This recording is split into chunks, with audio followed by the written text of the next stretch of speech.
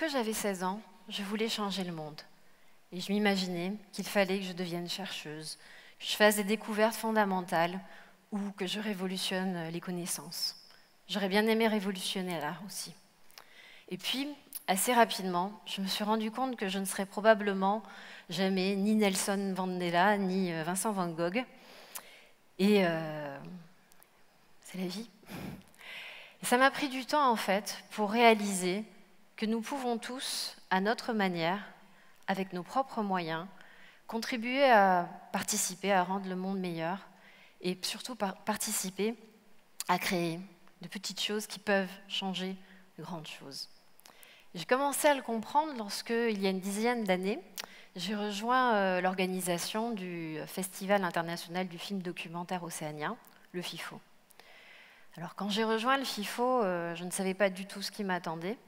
Je croyais tout simplement que j'allais euh, ben, participer organiser un festival, donc euh, voilà, faire des projections, organiser des rencontres, mettre en place des débats. évidemment, euh, ben, c'était assez naïf et je me trompais complètement, puisque intégrer un événement comme, comme le FIFO, ben, c'est une énorme aventure. Alors d'abord une aventure professionnelle, parce que je n'étais pas du tout préparée en fait à vivre ce qui m'attendait. Euh, et, donc, en fait, il a fallu ben, que j'apprenne sur le tas. Il a fallu que j'apprenne déjà qu'est-ce que c'est qu'un documentaire, parce que bon, c'est pas juste euh, quelque chose qu'on projette. Hein. il y a tout un monde derrière. Et puis, euh, ben, il a fallu que j'apprenne à travailler en équipe. Il a fallu que j'apprenne à donner de mon temps, également pour des causes qui vont au-delà de juste projeter un film, puisque au FIFO, on présente beaucoup de documentaires autour de vraies causes. Alors des causes environnementales par exemple, ou euh, la défense de la culture, la défense des langues. Donc des sujets euh, très prégnants et qui du coup ben, vous portent. Hein. Et euh, donc ça a été une grande aventure professionnelle, une grande aventure humaine, mais également une grande aventure personnelle et familiale. Et ça, c'est vraiment la chose à laquelle je m'attendais le moins. Parce qu'en intégrant le FIFO, ben, il a fallu que je me donne corps et âme et que j'entraîne avec moi toute ma famille, et notamment ben, mon mari et mes enfants. Et mes enfants, euh, ben, les premières années, ils venaient en spectateur au FIFO euh, un peu obligés, hein, parce qu'il fallait bien soutenir maman. Et puis, euh, d'année en année, puisque ça fait déjà dix ans que je suis impliquée dans ce festival, bah, mes deux premiers garçons sont devenus euh, des spectateurs euh, engagés, même, j'allais dire, des connaisseurs hein, en, documentaire. Et ils ont commencé à choisir euh, les films qu'ils voulaient venir voir. Et notamment beaucoup de films qui tournaient autour de la nature et de la protection de l'environnement, parce que ça leur parlait. Et donc forcément, ben, j'allais voir les films avec eux, j'étais un petit peu obligée aussi, hein, du coup. C'était mon tour de, de, faire un effort pour qu'on voit les choses ensemble. Et euh, ben, de voir ces films avec mes enfants a en fait euh, complètement changé euh, ma vie quotidienne et a en fait aussi contribué à me faire prendre conscience de l'impact des images et du fait que des images peuvent en fait nous amener à changer concrètement les choses. Alors, donc on, a commencé à voir des documentaires qui traitaient de l'environnement et notamment beaucoup de, de documentaires autour de la problématique des sacs plastiques et de l'impact que ça avait sur les océans. Et euh, si auparavant j'avais toujours été sensible à ces causes, c'est d'ailleurs pour ça que je me suis aussi engagée au sein du FIFO, ben, voir ces documentaires avec mes enfants m'a progressivement en fait euh, forcée à ne plus être juste spectatrice, mais à devenir euh, plus engagée et plus actrice concrètement. Pour la simple et bonne raison que ben, quand on avait fini de voir euh, tous ces documentaires que je participais à diffuser, ben, quand on rentrait, mes enfants ils nous disaient Nous, on fait quoi concrètement? Donc euh, on a commencé, euh, ben, comme vous certainement, au départ à faire attention quand on allait faire nos courses, à toujours reprendre les sacs pour pas utiliser ceux de la caisse. Et puis ben, d'année en année, ils ont vu de plus en plus de documentaires, ils sont devenus de plus en plus aguerris sur le sujet. Et euh, notre engagement euh, à tous a aussi ben, croît avec ça, hein, puisque petit à petit, on s'est mis euh, donc, à changer complètement nos modes de consommation et nos modes de vie. Et aujourd'hui, quelques années après, pour vous dire, on, pratique le compostage chez nous. Nos enfants font extrêmement attention à tout ce qu'ils achètent, à tout ce qu'ils nous achetons également. Euh, on a un poulailler, on a un fa enfin voilà, on a essayé le plus possible de réduire euh, notre impact euh, sur l'environnement. Et en fait, j'ai compris qu'on atteignait un stade ultime quand, en discutant avec mes enfants et mon mari, on a décidé de ne plus acheter de jouets en plastique pour Noël ou pour les anniversaires. Et euh, quand on a pris cette décision, le petit dernier de la famille, il avait 6 ans.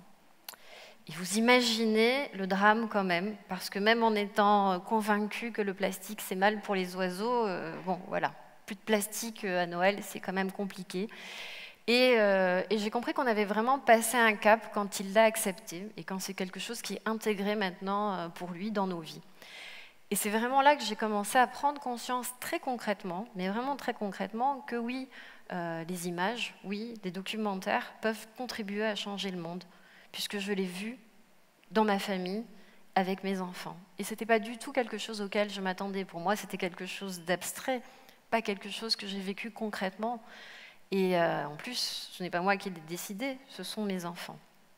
Donc je pense vraiment que les images, les contenus peuvent nous amener à porter notre petite pierre à faire que nous changions nos comportements et à faire que tous ensemble, nous puissions construire un monde meilleur. Depuis, cette conviction, parce que ça en est devenu une, ne m'a plus quittée. Alors elle m'a accompagnée euh, dans ma vie professionnelle, euh, dans toutes mes activités, puis également dans ma vie, euh, dans ma vie personnelle. Et cette conviction, elle a même été renforcée dernièrement pendant le confinement, puisque, ben, comme vous tous, j'imagine, ici, pendant le confinement, euh, j'ai eu beaucoup de temps pour penser et beaucoup de temps pour regarder, écouter euh, des contenus, notamment culturels, parce que bon, c'est mon centre d'intérêt, et, euh, notamment pour écouter beaucoup de podcasts, parce que dans notre famille, nous sommes des consommateurs de documentaires, mais également des consommateurs de podcasts, puisqu'il y a quelques années, en fait, mon petit dernier, donc celui qui n'a plus le droit aux jeux en plastique, a euh, été diagnostiqué également euh, dyslexique. Et évidemment, ben, avec son père, on a souhaité euh, se renseigner sur ce qu'est la dyslexie, sur comment est-ce qu'on pouvait mieux l'aider, mieux l'accompagner. Et donc, c'est comme ça que j'ai découvert les podcasts, que j'ai découvert voilà, des contenus qui permettent d'échanger avec des enseignants ou voilà, des, expériences. Et puis, petit à petit, je me suis rendu compte qu'en fait, il existait des podcasts sur plein de sujets notamment sur l'histoire et la culture, des thématiques qui, moi, m'intéressent. Et puis, on s'est mis, en fait, toute la famille s'est mis à écouter des podcasts, donc les adolescents, beaucoup sur l'environnement, donc, euh, mon mari et moi, et puis également, euh, donc, notre petit dernier, qui écoute beaucoup de podcasts d'histoire pour enfants. C'est une manière de le réconcilier avec le livre et de l'amener voilà, à aimer la lecture. Donc il écoute beaucoup de podcasts et euh, un petit peu avant le confinement, mon mari me faisait la remarque c'est dommage qu'il n'existe pas de podcast euh, polynésien pour les enfants, d'histoire pour les enfants euh, polynésiennes. je me suis dit oui, c'est dommage.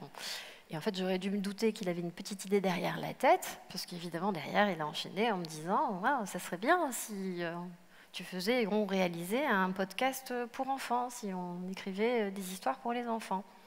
Et alors là, par contre, j'ai trouvé que c'était une très mauvaise idée. Hein, parce que déjà, je suis un peu occupée par ailleurs.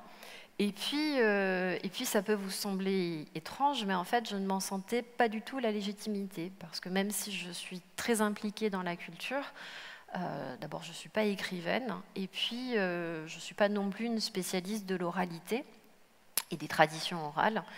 Et du coup, euh, voilà, je ne me sentais pas légitime, c'était quelque chose qui m'effrayait un petit peu. Et donc, bon, voilà, j'ai sorti l'excuse de j'ai déjà suffisamment de choses à faire, je dois m'occuper du FIFO, je ne peux pas faire de podcast. Puis le confinement est arrivé. Et là, j'ai eu du temps. Et mon mari est très obstiné. Donc, il est revenu me dire c'est dommage quand même. Et c'est vrai que là, j'ai revu les choses un petit peu différemment, puisque moi-même, j'en ai écouté beaucoup. J'étais bien contente qu'il y ait des podcasts pendant le confinement, et puis que, ben, évidemment, je n'avais plus l'excuse du temps. Donc, à force, bon, voilà, j'ai réfléchi, je me suis dit, c'est vrai, ça serait bien. J'ai essayé de calmer un petit peu mes angoisses, et puis euh, ben, j'ai relu euh, les livres qui traitent des légendes et de la mythologie. Et puis, ben, suis laissé convaincre et euh, j'ai commencé à écrire, euh, réécrire la première histoire. En plus, je me suis attaquée à un gros morceau, puisque si on écrivait, enfin, si on faisait un podcast sur les histoires, il me semblait qu'il fallait commencer par le début, et donc par l'histoire de Ta'aroa et de la mythologie de la création du monde. Donc un gros morceau quand même. Hein. Donc, euh, bon, voilà, j'ai écrit, on a enregistré, et puis euh, c'est comme ça qu'on a lancé la diffusion euh, du premier épisode de Prautama.